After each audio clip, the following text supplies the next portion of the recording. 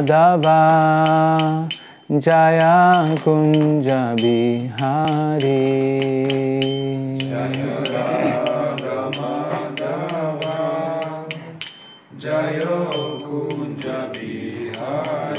गोपी जनवल्लभा छाया गिरिवराधारी छाया गिरिवराधारी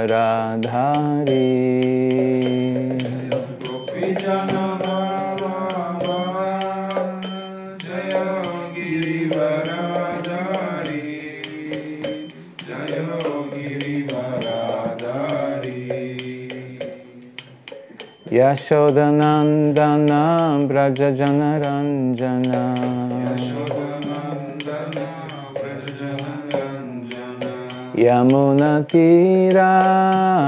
यमुनतीरावनचारी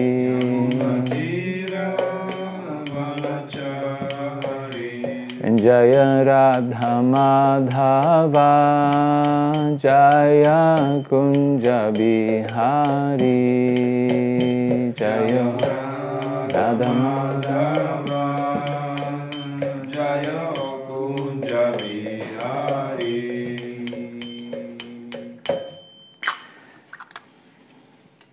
জয় শ্রী গণিতায় কি জয় জগন্নাথ বলদেব সুভদ্রা কি জয় শ্রী মহাপ্রভু কি জয় जय जय श्री चैतन्य जय नित्यानंद। जय श्री चैतन्य जय नित्यानंद। जय अद्वैत चंद्र जय गौर भक्त वृंद।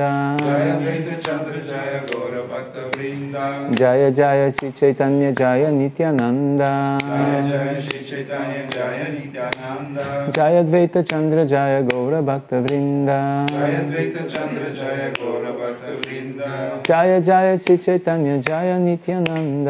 जय जय Shri Chaitanya Jaya Nityananda Jaya Advaita Chandra Jaya Gaura Bhakta Vrinda Jaya Advaita Chandra Jaya Gaura Bhakta Vrinda Okay, четем от Шри Читания Чартамрита. Почистването на Гундича. Ам, Стигнали сме до текст 135. okay.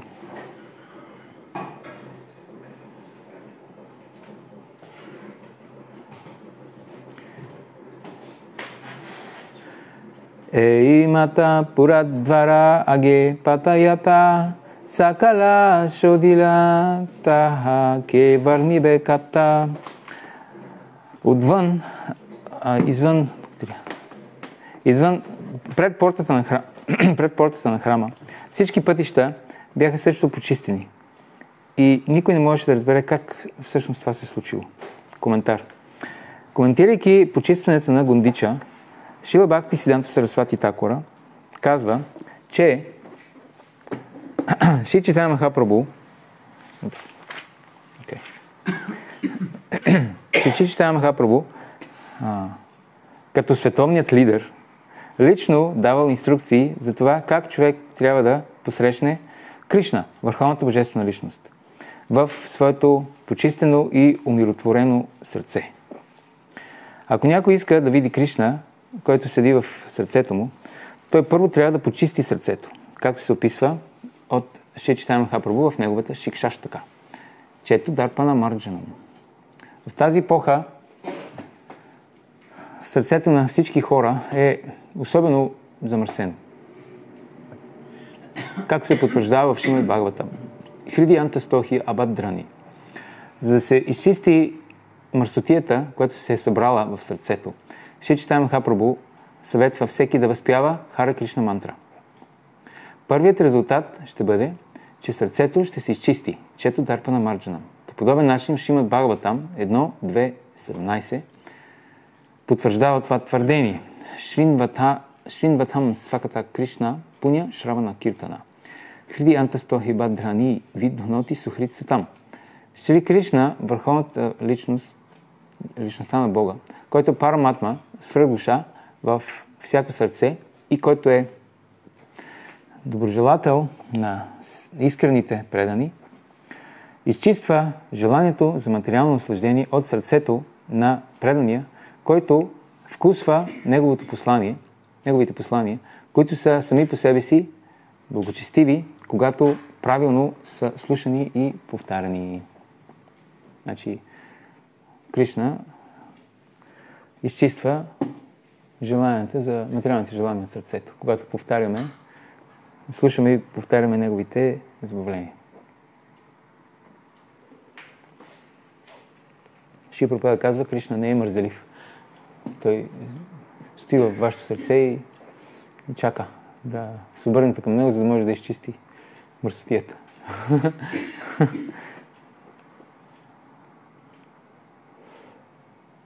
Това е проблема, че всъщност тук се нарича мърсотия. За мърсотия се определя, определят нещата, които ние най-много така сме, са ни най-скъпи. най... Както Рупа Махарапур обясняваше преди няколко дена. Най... интимните ми и купнежи и желания и най-съкровените ми мечти които си мислим, че са, те са най-така, най- най-ценни за нас, всъщност в Шастра ги описват като просто мърсотия. И затова е трудно да понякога да приемем а, присъдата на ачарите и на, на свещените книги. Защото трябва радикално да променим нашето, нашия светоглед това, към което си бил толкова привързан, изведнъж ще кажеш, че е безсмислено. Има нещо друго, към което трябва да се привържеш. Имаше един филм, в който е, героя беше разбрал най-накрая, че всъщност цялото нещо, което той приема толкова на сериозна е иллюзия. То не съществува реално. И когато пак влезе в, влезоха вече в матрицата с, с това съзнание, те го бяха изкарали вече от тази иллюзия, бяха му показали реалността каква е. Когато влезах отново в, в тази матрица, тогава за него беше голям шок, защото той пътуваше през... Те, те, колата минаваше през неговия квартал, където е живял цял живот и той гледаше много и си казваше, вау, цялото това нещо не съществува всъщност. Всичко това. Е, тук съм обядвал, всеки ден идвах да обядвам в това ресторанче, тук съм си пазарувал гроша е, тук това, това е спомен. Това цялото нещо било една иллюзия. Не е съществувало всъщност. И един преводаен по същия начин. Преводаните, те разбират, че всъщност материален свят съществува, той е реален, но е временен. И също е безсмислен. Защото а, ако човек го вижда без връзката му с Кришна, цялото нещо е безсмислено, като много Шива го нарича. Багва там се казва всъщност. Това е едно объркващо творение с много цветове, имена, светлини, сенки и цялото нещо като един калейдоскоп, който се сменя постоянно и само обърква и възбужда ума. Всъщност няма субстанция, защото цялото нещо се променя постоянно и човек, душите, обословените души се опитват да се вкопчат в а, нещо от този свят, обаче всичко се променя. Отново и те отново са останали така, с празни ръце да се оплакват и затова трябва да, трябва да ги приемем тия неща и да се опитаме да, да се свържем с субстанцията, с същността, която е забавлението на Кришна, които са всъщност истинската реалност. Те не са, ние понякога си мислим, ами да, то, то живота е, това е, това е моят живот. Аз имам работа, семейство и така нататък, задължения и време на време намирам малко промеждутък да чуя за забавлението на Кришна. И това е нещо като, това е някаква подробност там, някаква част от някаква екстра. А същността е моят живот. А то е обратното. Всъщност същността е, когато слушаме за Кришна, а другите неща, които правим през деня, които са нали, да поддържаме тялото семейство, те са всъщност какво са? Между другото трябва да бъдат, да. В почитание Шаритамрити се казва, че Махапрабу е вършил тези неща просто по навик да си къпе, да, да приема пресадам, да върши такива неща, които са свързани с тяло. Просто ги правя така, без да забелязва. А за нас обратно, това са важните неща и от време на време, аз съм духовен човек, сега ще чуем нещо за Кришна, защото съм, не съм материалист, съм все пак. Значи има обрат, обратната перспектива. Точно обратната. Ако един предан изобщо иска да изчисти своето сърце, той трябва да повтаря и да слуша славата на Бога, Шри Кришна. Шринва там сваката Кришна. Това е много прост процес. Кришна лично ще помогне да се изчисти сърцето, защото той вече седи там. Кришна иска да продължи да живее в сърцето и Богът иска да даде наставления, но човек трябва да а, държи сърцето си толкова чисто, колкото Бог Читания държал а, чиста гундича.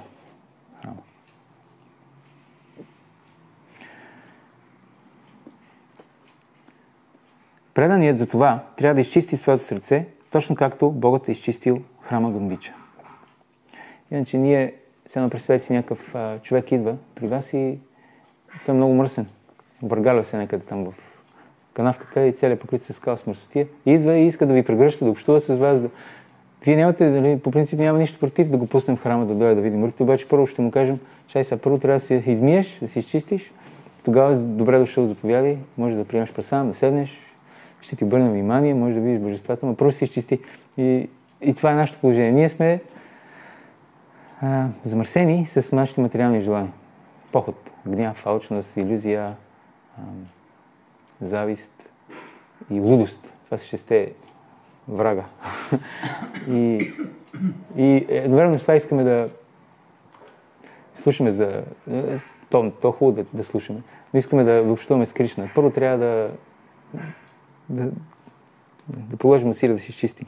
И тогава Кришна ще ни даде своето общуване. И тези шест врага, врагове, тези шест врагове, които споменахме, понякога, те върват в комплект от това е проблема. Те са в комплект от 6. Понякога си мислим, аз ще взема малко поход. Обаче проблема с похота е, че другите също идват.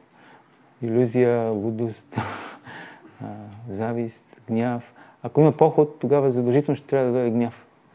Защото похота не може да се удовлетвори. И когато похота не е удовлетворена, идва гняв. така че ня, не можем да, да вземем едното без другите. Върват заедно.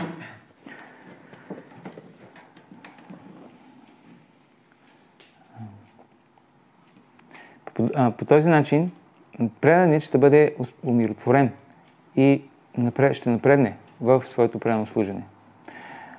Ако сърцето е изпълнено с а, сламки, с а, пясък, с а, прах, с други думи, аня аня аня биляша пурна. Нали се казва, Ания билящите шуньям, гена кармадия навритам. Шуни означава да е празен, да е изпразен от материални желания. Тук се казва Ания биляша пурна, пълен с материални желания. И това ние така ги говорим тия неща, те са малко като клишета, материални желания. Ама представете си, това е наистина, представете си, имате, виждате един човек, който е пълен с материални, с желания, егоистични желания. Ами той, той е неприятно да бъдеш в неговото общуване. Неприятно е. Защо то ви усещате, този човек е толкова егоистичен, че той ви гледа като единствено като обект, който може да удовлетвори неговите си дива. Той не ви вижда като личности. И ние сме такива също, докато не се пречистим. Ние просто обикаляме и гледаме, сканираме всичко, как, как мога да се възползвам от това, от това, от това, от това. И тая болест трябва да, Кришна трябва да ни спаси, от, да ни излекува. а не бележата пурна. Както се казва, една от етапите на бхакти е анарта ниврити и арта праврити. Те са свързани. Арта праврити означава печелиш всички благочестиви ценни неща, а анарта ниврити освобождаваш от всички ненужни неща. А когато човек извършва оскърбление, е обратният процес. Получава се анарта праврити здобиваш се с всички лоши, даже неща, които не си имал, лоши качества се появяват в сърцето. Ако човек върши оскърбления, една сутрин се събужда и установява, че са се появили някакви много силни материални желания от някъде. Преди ги е нямало, обаче изведнъж се появяват. И... и това е много кошмарно такова състояние. Затова трябва да се избягат оскърбленията. значи, Аня Билаша Пурна. Човек не може да а, сложи върховната божествена личност на трона на сърцето си. Тук се използва тази дума ентрон. Значи в сърцето има трон. И ние трябва да сложим Кришна там, да го а, инсталираме на престола на нашето сърце.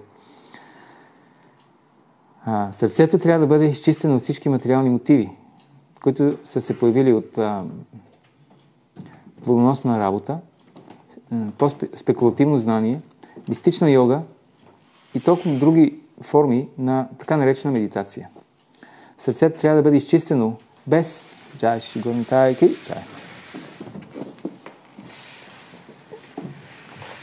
Сърцето трябва да бъде изчистено без а, странични мотиви, без задни мисли. Както Шила Рупа ми казва, Аня Билашита Шуньям Гяна Кармади Навритам. С други думи, не трябва да има никакви странични мотиви. Човек не трябва да се а, опитва да постигне материален напредък, разбирайки, да разбира а, върховния чрез спекулативно знание, чрез плодоносни дейности, чрез тежки отречения и така нататък. Всички тези дейности са против естественото нарастване, развиване на спонтанна, спонтанната любов към Бога. Веднага след като тези неща са вътре в сърцето, трябва да се разбира, че сърцето е замърсено и затова не е достойно да служи като място, където Кришна да седне. А, ние не можем да а, възприемем присъствието на Бога в, а, в нашето сърце, освен ако сърцето не е чисто. Сега в събота ще имаме лекция на Ишварешва Прабу, който в един от филмите си така беше вложил в устата на един от героите си един невероятен монолог. Той човек изведнъж така изглежда изневиделица. Просто започна да получи някакво откровение. И той споделяше с двамата си, с синовете си. И понеже той нещо се депресирал, беше се депресирал нещо и, и толкова така се депресирал, че те го вкарали в лудница. в Карлуково го закарали. и те мислят, че е лута, той човек е просто минава през някаква екзистенциална криза, защото усеща, че живота му е безсмислен, без Бога. И монолога му беше в есенцията си следния. Нали се казва, къде се казва, той не уточнява, но явно, че се казва тук в читание, че Тамрита, като четем. нали се казва, че в сърцето има трон. И, защото до тогава разговорът беше малко такъв, малко светски разговор, така, тривиален разговор, да, много хубава дума. Изведнъж този човек заби тая мисъл и, и аз така, и другите бахти, които гледахме филма, нострихме така уши. И нали се че в сърцето има трон. И двамата посина го слушат. и той продължи. И, и аз винаги, аз съм си седял на този трон.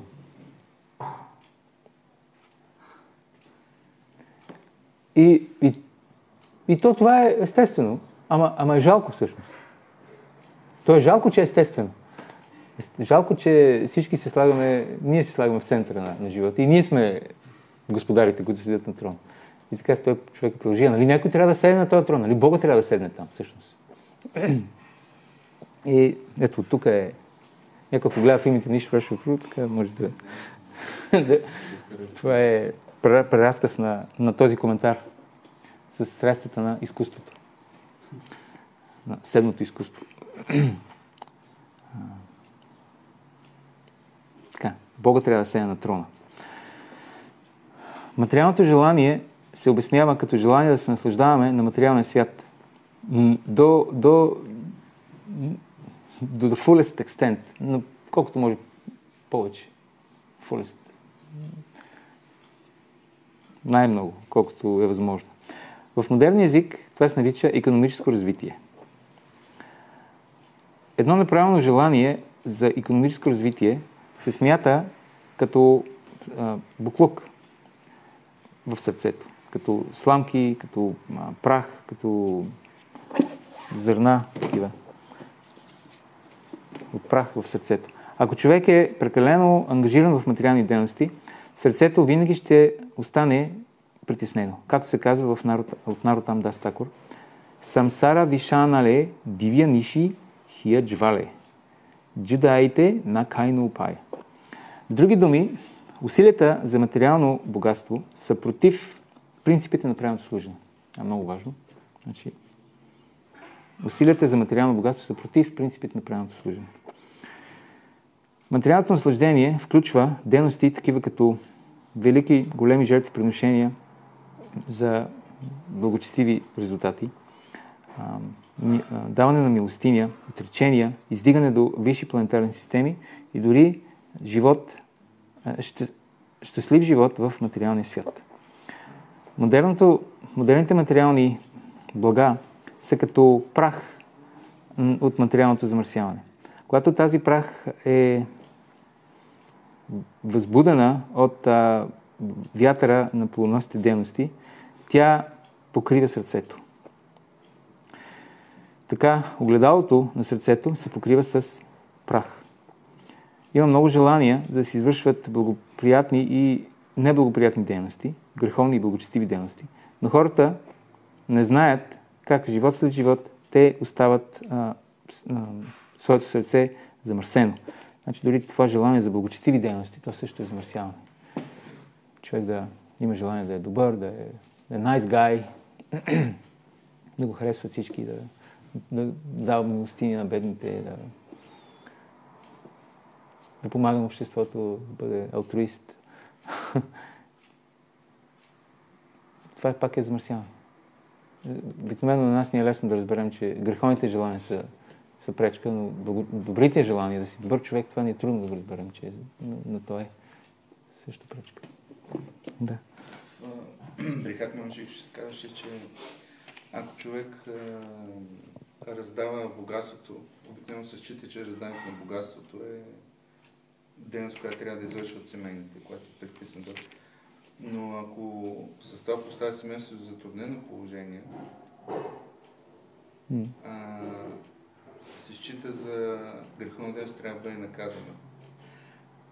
При условие, че а, той го прави за почест и слава.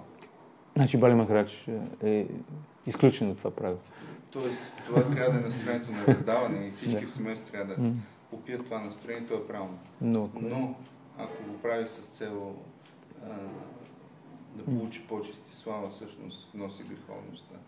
И сега някой веднага може да каже, добре, ти как знаеш, че той го прави? Ти можеш ли да видиш сърцето? Кой преценява това?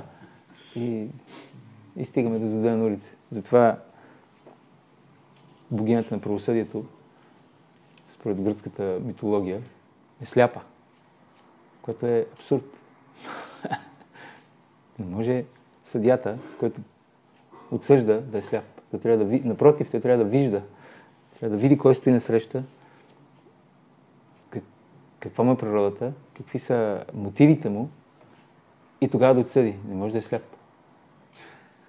Това е невежество. Има някаква хубава идея зад този символ. Идеята е, че трябва да има справедливост, независимо от това кой е извършил престъпление, той трябва да, да бъде наказан. Но, но богинята не трябва да... Съдята не трябва да е сляп. Той сляп ще има голям проблем. Защото наказанието, както се казва в Парамджет първо Дарма Шастрите, наказанието е такъв, а, такава експанзия на Бога, която е много, с която много внимателно трябва да се борави, защото ако бъде отмерено неправилно, то всъщност се връща и наказва човека, който го е приложил неправилно, не само него, цялото му семейство, всички, които са свързани с него. Няколко рода. Да, това не, не трябва да е сляпа. Правосъдието не трябва да е сляпо. Обратното. Има предвид кой извършва. Ако учим брамана, просто отиде, ако някой брамана влезе в градината и откъсне цвете, това не е наказуемо, защото тази градина принадлежи, всяка градина и всяка цвет принадлежи на браманите. Защото браман ще използва това цвете, за да обожава Бога.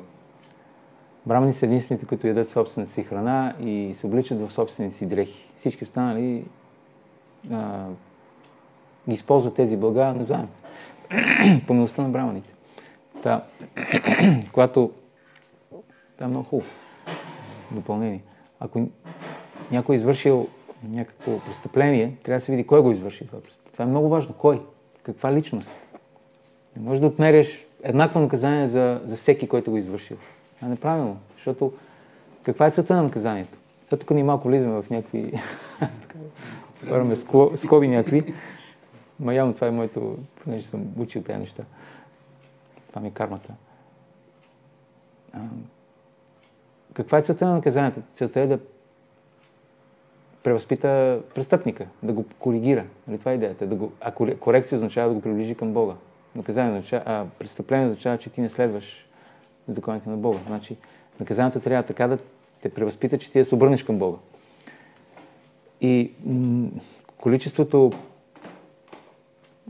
сила или а, принуда, или как, как се нарича, количеството наказание е пропорционално на, на това отколко, отколко наказание има нужда този човек. Браманите разбират, а, те по принцип няма нужда да ги, да ги наказваш, те разбират, веднага като направят нещо, те го разбират, че това е нещо погрешно. И те сами се коригират. Затова те, по принцип наказанията за тях са много... да. Колкото по-надолу се слиза в иерархията, толкова по- по-голяма нужда има от а, принуда. Защото те все по-трудно и по-трудно зацепат, че са направили нещо погрешно. И затова за шудрите има най-голямо, най-големи наказания, защото те, разбират само, те не разбират от дума общо взето. Така. Те неща са много сериозна наука и са напълно неразбираеми за модерните хора, за съжаление. Самата идея е, че има класи в обществото и наказанието трябва да се определя според това, кой ги извършил, това вече е... Само като го кажеш това и веднага ще те... Веднага ще те...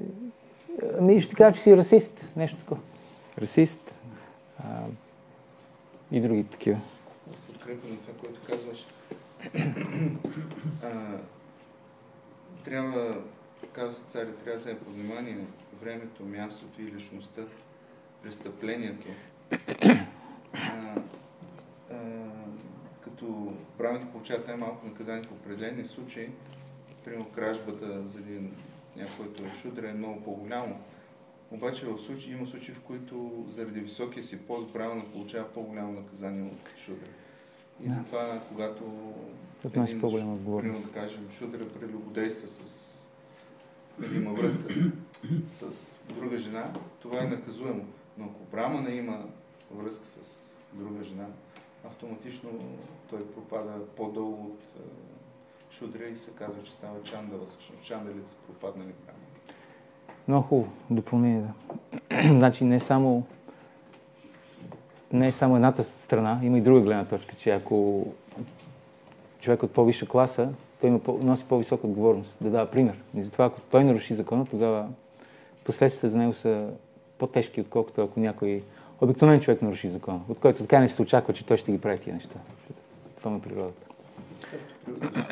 Плюс, ако наруши закон, е много човек отколкото. Да. Значи имаме от една страна имунитет, депутатски имунитет, има от друга страна, ако има достатъчно основание той да бъде свален и да, да бъде осъден този човек, тогава резултатът е по-тежък за него. Добре, но за да се разбират, да се разберат ти неща, трябва да има изчистване на сърцето. В а, ситуацията на модерния свят, когато сърцето е замърсено, тези неща, които сега ги обсъждаме, те не могат да бъдат разбрани. И те изглеждат по извратен начин в съзнанието на хората. Те си, те си мислят, че тук става дума за някакви кастова система, в която браманите потискат всички. Трябва да има изчистване и тогава може нещо да човек да му светне, иначе няма, няма да стане, не може да се разберат тия неща. Добре, сега така се върнем към основната тема.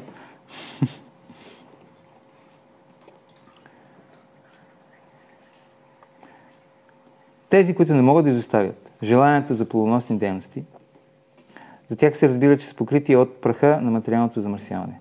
Кармите обикновено си мислят, че плодоносните дейности могат да бъдат противодействани чрез други плодоносни дейности.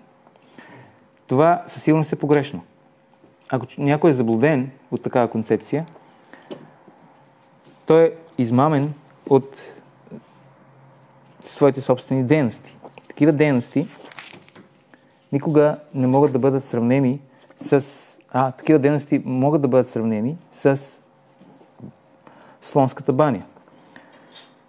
Един слон може да си скъпе много добре, но веднага след като излезе от реката, той незабавно се покрива отново с прах, с мърсотия. Ако човек страда заради своите минали плодоносни дейности, той не може да противодейства своето страдание, като извършва благочестиви дейности. Ще си получи едните и другите резултати. Не може да, да премахне неблагоприятните резултати, като извършва благоприятни дейности. Искам да вмъкна нещо. Да. Тази приящчета, която се описва в частта, тя не, е, тя не пречиства, не, т.е. самата дейност не пречиства. Да. Както ти Одеви каза, наказанията или приящата, отречението, което човек му е наложено да направи, самите дейности не пречистват. Но това, което пречиства, пак в Брихат Манушек ще се казва, че това, което пречиства е, е момента, в който човек минава през тия наказания и се казва, аз повече така няма да правя. Mm. Това е момент, който изчиства Тоест разкаянието. Разкаянието е това, което е желано да бъде постигнато чрез наказанията. Да. И, това, това се казва, че освобождава от човек.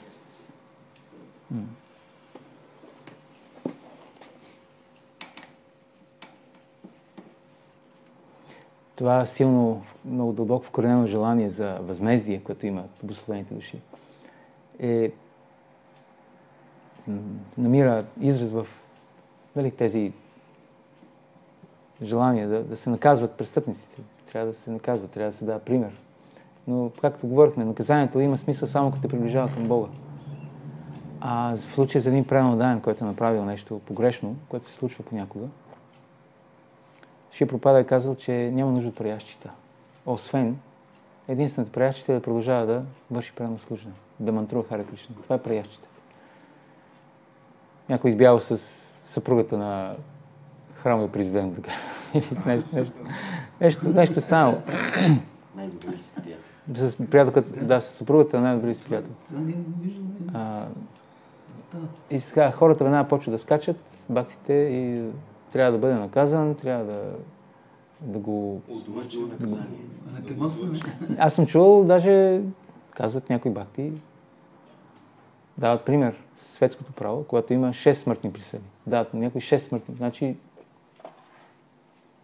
той човек до края на живота си е, той е премоден до края на живота му е анатемосан. Той няма, неговото реноме е изчисто, той няма възможност да, да се коригира. Не му се дава такава възможност. Сега много съждат на вечни макифада, бахтите. Това го правят правилно данните. И... А всъщност Шия Пропада казва, че просто като повтаря Харе Кришна, този грях е изкупен. Сега... Обаче не, не, как не може просто така да повтаря Харе Кришна. Трябва да го накажем. Трябва да го бичуваме публично, да го линчуваме, да го не може да идва в храма, не може да дава лекции до края на живота този човек. Не може да се, той не може да се коригира. Той, ние не вярваме в силата на святото име да изчисти сърцето. Това, което се обяснява тук, ние това не го вярваме. Ако а, вземе тази позиция. Това трябва да ни е ясно. Нямаме вяра всъщност в, в процеса, който самите ние твърдиме, че следваме. Ако смятаме това. Да, има случаи някой е направил нещо преди 20-30 години, ние не можем да му простим, не може, не може да, да, да приемем, че този човек може да се е коригирал. Това е невъзможно. Както и първо Хреч каже, това означава, че ние приемем, че материалните обстоятелства определят приемното служене. Това е най-дълбок материализъм. Да считаме, че материални обстоятелства ще пречат на това някой да извършва приемно служене. Да. Това означава, че материята е по-силна от духа. че святото име не е всемогъщо. И това мислим. Това не означава естествено, че човек трябва да се възползва от това, за да върши глупости. Шил Прабхупад също го обяснява това в този стих. Апи чет судорачаро баджета мама на либак. Садорева самантева, самек лива хитохи саха. Кришна казва, че дори ако някой излезе с отвратителни дейности, ако, той, ако неговата решителност е правилно установена, той трябва да бъде смятан за свята личност. Е, това нещо ние не го приемаме. Много хора не го приемат. Не, това е. И това е. Добре, Кришна го е казал, обаче на практика ние не, не, не го приемаме. Не, той не е свята личност. да. Може да кажем, че не го приемаме. Много е възможно да не го приемат, защото ние идваме от да. християнски бекграунд. Точно така. И понеже все още имаме този начин на мислене, който е много нали, проминен в тази религия, че ние виждаме там, ако някой направи нещо, на практика няма... Няма прошка. Той трябва да бъде наказан. Трябва да бъде... В гената огнена трябва да се пържи за вечни времена. Без идея, да, без идея да бъде коригиран вече. Вече тази идея да бъде превъзпитан, да бъде коригиран, вече няма. Край. Да, точно така. Защото, защото ние това сме го слушали, така сме, попили сме го това от най-ранна детска възраст, тази идея, която не е вайшнавска, тя не е ведическа идея. Така че ние си ги носим тези неща. Трябва да, да, да, да сме осъзнати, че това не е от ведите. Това е от а, лукава го. не, не. Чарите не го казват това. Си имаш, че ти си имаш някакви идеи за живота, това си е твой проблем, но това го няма в читане Жаритамрита в Шимат Бхагавата. Да, а, както казват някои духовни учители, ние сме много често вайшнави по философия, обаче по култура, културно сме си, каквито сме си там. Всеки си знае откъде е дошъл. Протестанти, евангелисти, православни и така. И си ги носим тези товари. Как, как в ведическата култура тези две неща те работят заедно? От Как работят страна, В ведическата култура има много твърда идея за наказание. Да. Нали, това е работата на царя. Той наказва тия, които не действат по правилен начин. От друга страна го има този всепрощаващ М. менталитет. Как така тези две неща работят заедно? А защото ведите обясняват какво е дharma, а, the inherent nature, да, вродената, изначална, есенциална, естествена природа на всичко. И природата на душата е, че е, е, е, че е вечна и че е вечен слуга на Бога. И вечният слуга на Бога ти не можеш да го съдиш на вечни мъки в ада, защото той е вечен слуга на Бога. Ти може временно да го и трябва временно да му наложиш някакви ограничения, за да може той да се осъзнае и да се върне в доброволно в своята позиция на вечен слуга на Бога. Но не може за вечни времена да го съдиш да се пържи в защото е вечен слуга на Бога. Понеже ведите дават истинското знание за нещата, затова те могат да балансират между тези две неща. Трябва да има наказание, очевидно, което обаче целта му е да ни върне в нашата изначална позиция. А когато това знание го няма, когато имаме някакви мъгляви такива концепции за душа, дух, душата тя е вечна, обаче тя в един момент се ражда, не е съществувала преди това, нали това е идеята. Тя не е съществувала, тя се ражда в един момент, обаче след това тя продължава да съществува след смъртта до страшния съд, там когато нещата а, се премерват, нали, кой какво е направил, ударя се кози, козите от овците. Когато има такива мъгляви концепции, тогава няма как да, да има балансираност и истинско знание. И, и как се прави този баланс? Да, ми, да прави се. Това отговаря ли на въпроса?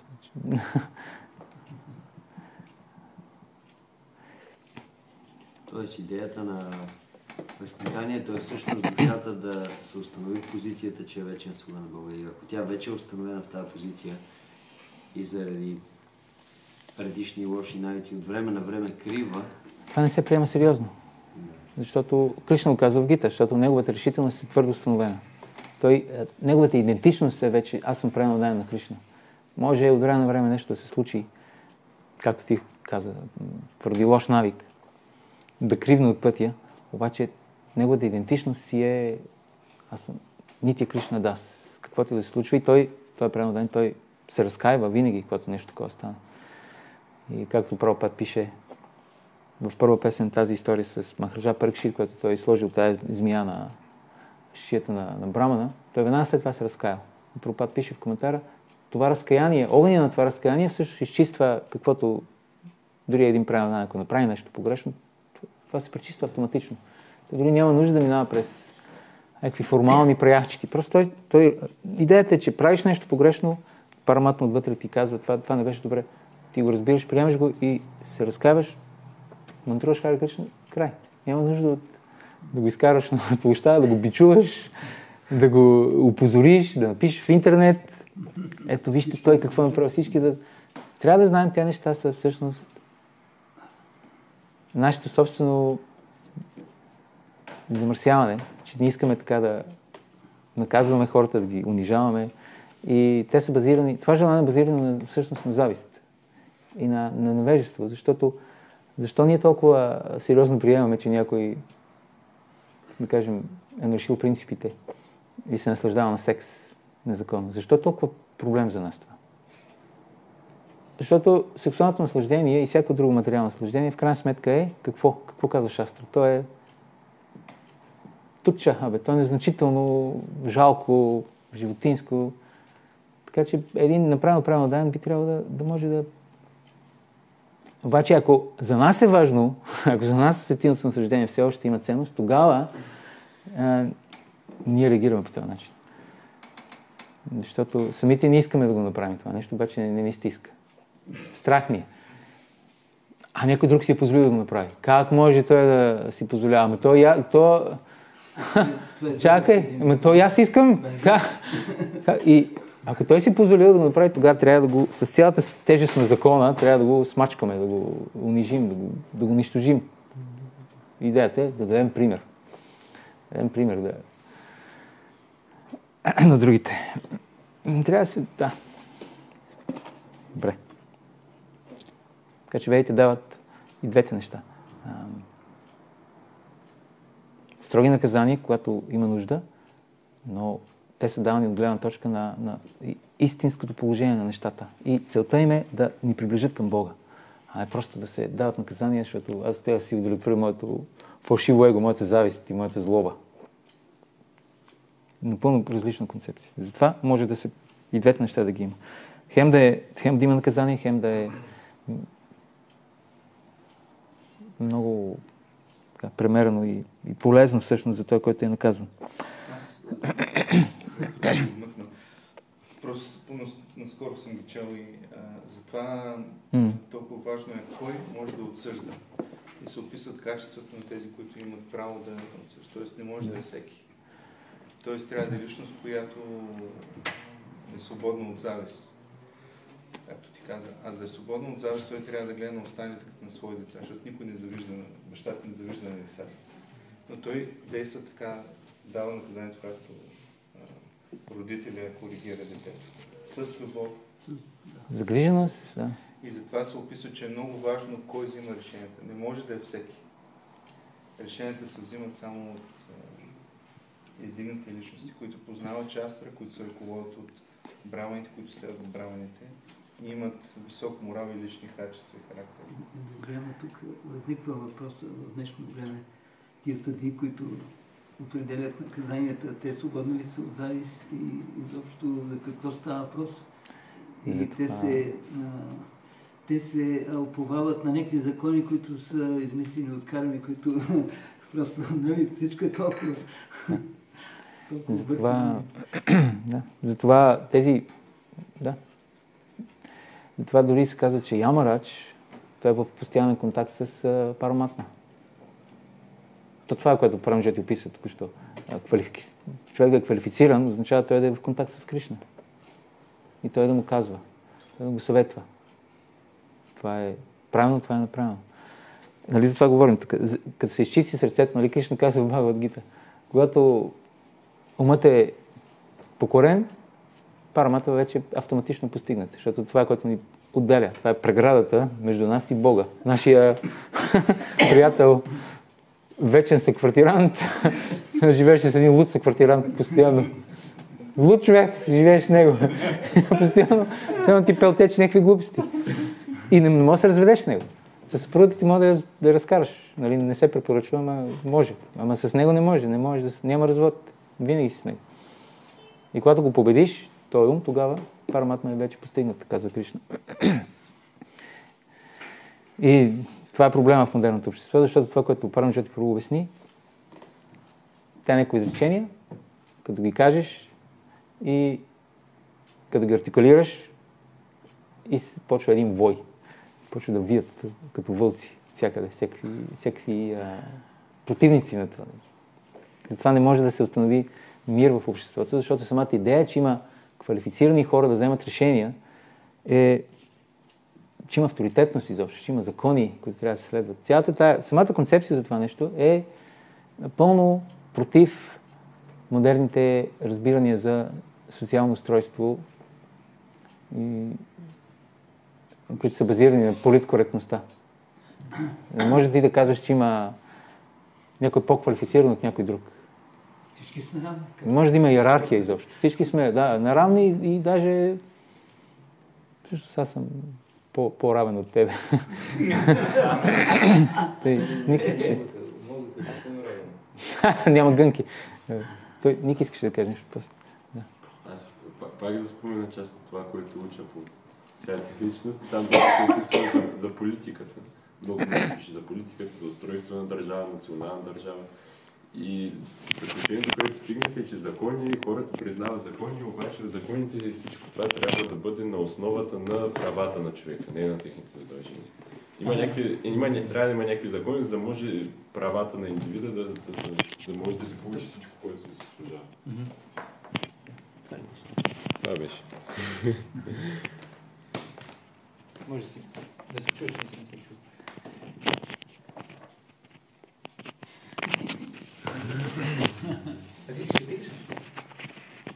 Да. Ами аз забравих какво исках.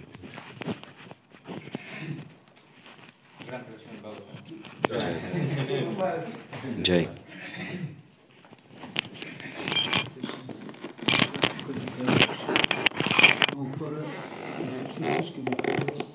Всеки, никой не, не се запитва и не казва, и си си мисли какви са моите задължения, дали ги изпълнявам. Ами,